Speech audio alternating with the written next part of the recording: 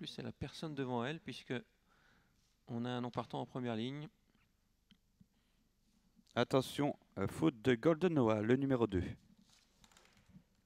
Voilà, c'est parti dans cette euh, première épreuve. Effectivement, le 2 au grand galop, c'est le 6 tout de suite, euh, Elancio, qui prend le meilleur départ. En deuxième position, le 5 euros la faute de Hugues de Touchivon, le numéro 7 également, euh, qui s'écarte de la course. On vient avec Flyer de Crène, le numéro 8, à l'extérieur d'Elancio. Oui, et donc euh, Flyer de Crène prêt à prendre l'avantage maintenant. C'est le 8 devant le 6, euh, Elencio. Derrière, on a vu un très bon départ de Falco du bordage, le 5, le 12 aussi, hein, Ganga des Vallées. Et voici le 14, Fandango Royal, qui attaque en dehors et qui vient troisième. Flyer de Crène qui a l'avantage, qui est quelque peu repris. Là, on tire un peu avec à l'extérieur le numéro 14, Fandango Royal, qui est repris à son tour également. Le 6 est en deuxième position, il s'agit de Elancio. Le 14, Fandango Royal, prend maintenant le sillage Il y a beaucoup de rythme dans cette épreuve. Un peloton est tiré sur euh, une centaine de mètres en face. En quatrième position, nous avons le numéro 12, Ganja des Vallées. Avec un peu plus loin encore, euh, cinquième, tout cela en file indienne, le 5, Falco du Bordage. L'As vient un peu plus loin, Philo de Bèze. Avec également Fougue des Îles, le numéro 15 qui vient 6-7e. Tandis que le 11 a été disqualifié. Le 8, Frère de Crène, toujours en tête devant Elencio.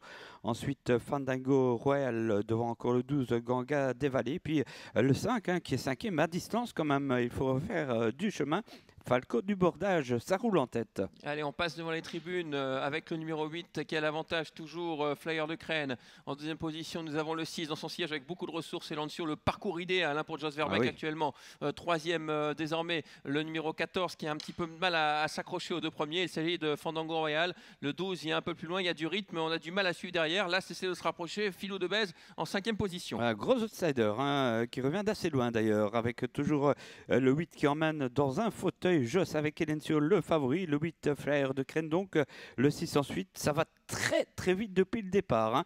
On distance quelque peu d'ailleurs euh, désormais le 14, euh, c'est Fandango Royal, euh, loin, encore plus loin le 12 Ganga des Vallées, hélas, et les autres eh bien, vont tenter une place, hein, je pense. Le tournant final dans quelques instants avec toujours le numéro 8, euh, Flyer de Crène, qui emmène dans un plateau le numéro 6, Elancio, euh, qui va sans doute tenter de déborder, qui va essayer de déborder dans l'ultime ligne droite. En troisième position, le 14, Fandango Royal, va essayer de garder ce- cet accès-site. Derrière, on réagit bien avec le 5 maintenant, Falco du Bordage, euh, qui vient quatrième. Et bientôt l'ultime ligne droite avec une lutte entre deux concurrents, le 8, Flyer de Crène et le 6, Elancio. Oui, ce sont les favoris qui sont là, hein, avec euh, Flyer de Crène, Elencio et Falco du Bordage euh, qui passent à l'attaque contre le 14 Fantango Royal pour la troisième place. Attention, Joss, à la fin, il a l'art hein, de le faire comme ça.